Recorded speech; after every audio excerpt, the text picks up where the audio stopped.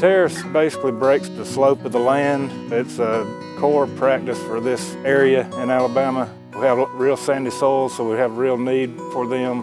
Soil conservation is our number one goal. It just breaks the slope up and we direct water where it needs to go to where it does not create gullies.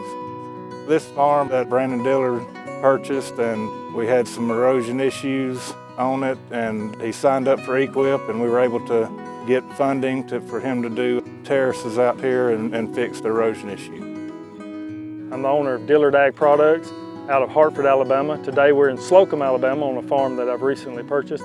We have poultry houses. We have about 200 brood cows. We do cotton, corn and peanuts, small grains.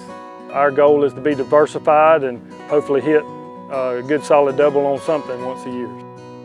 The way it was before with no terraces out there, that water would just gather into the lowest spot in the field and run and take all the nutrients with it in the soil. And by implementing the terraces and the drainage tiles, that's helping you know slow that water down and also put it where it needs to go.